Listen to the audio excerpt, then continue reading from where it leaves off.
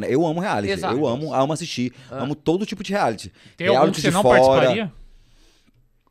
Não, tem, por exemplo, esse eles me sondaram, eu não tive interesse com, com o formato e cachê, mas o de férias com ex, eu queria muito ter feito esse ano, a gente conversou, chegou, né, até saiu umas, várias, quer dizer, algumas não, várias notícias, a Fábia Aham. soltou e depois eu fui pro, pro retiro fazer minha feitura, É, o meu assessor tava negociando com o pessoal, eu queria muito fazer.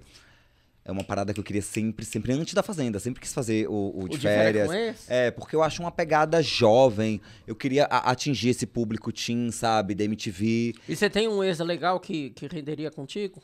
Ah, sempre tem, né? Sempre tem, é ótimo. Sempre tem. né? Algum ali você Meu acha? filho, É. é, eu acho, eu acho. Se fechasse, eu ia, eu ia, sair um mês assim pra balada, ia fingindo, pegando uma linha da balada, falava que amava, que era presente de Deus. Vamos produzir um ex. É, Vamos produzir um ex, tudo produzir se um produz, gente. Até aí tá falando é. televisão, tudo que se cria, é magia. televisão é magia, então tudo se cria. E aí, DVD, como é que tá essa reforma? A reforma não acaba nunca, Marcão. Todo dia eu tô eu na loja com a listinha do pedreiro ali, porque quando ele chega, o material tem que estar em casa, né? Cara, não vai mais na loja não, DVD. Descobri a Home On, homeon.digital, vai mudar a tua vida. Você pode comprar desde o alicerce até a decoração da sua casa, muito mais praticidade, muito mais fácil e eles entregam na porta da tua casa. www.homeon.digital muda a tua vida.